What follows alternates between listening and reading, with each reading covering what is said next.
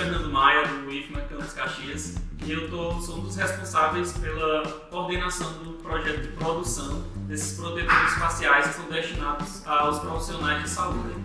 Essa iniciativa ela teve início é, nos países em que o Covid-19 estava. Muitos profissionais de saúde estavam é, adoecendo, então diversas pessoas ao redor do mundo é, estão produzindo esse material.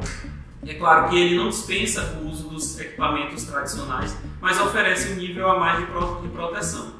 É, no Brasil, diversas instituições e, e pessoas voluntárias têm, têm trabalhado nisso. Aqui em Caxias, essa iniciativa é, começou comigo, o professor Luiz Fernando do IFMA de Caxias, e também com o professor João Couto, da UEMA de Caxias. Nós iniciamos com uma pequena produção, é, não conseguíamos fazer mais do que 20 por semana e a gente tem que agradecer porque depois que começamos a fazer as entregas, as pessoas é, ficaram muito felizes, a sociedade gostou muito da iniciativa, do trabalho e nós recebemos doações é, de instituições privadas, de instituições públicas é, e atualmente né, nós estamos numa parceria institucional entre o IFMA com a FAI, que tem um, um material, uma impressora 3D.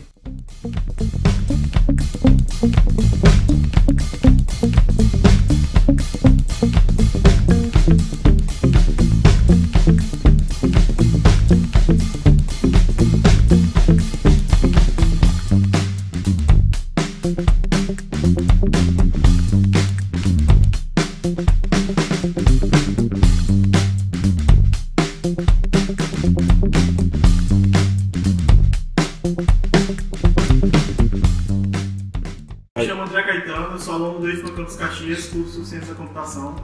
É, nessa primeira etapa, a gente passa o molde é, digital no programa, um programa que é junto da impressora. A gente passa todas as características do, da máscara, é, tamanho, dimensão, produto, velocidade de produção. Sou Maurício Tomé, sou do Núcleo de tecnologia daqui da FAI e também já fiz parte do, da família IFA. E nesse processo, após ele enviar o molde para a impressora, o bico extrusor esquenta o filamento a 220 graus Celsius e começa a derreter em cima da base. E durante esse processo, a gente aguarda e checa se está tudo ok. Eu me chamo Leonardo, eu sou estudante de Ciência da Computação do Instituto Federal e eu venho mostrar o projeto final, como vai ficar uma das partes da máscara. No caso, o processo são 4 horas para fazer duas dessas e nossa meta é fazer uma entrega para os, as secretarias de saúde da região.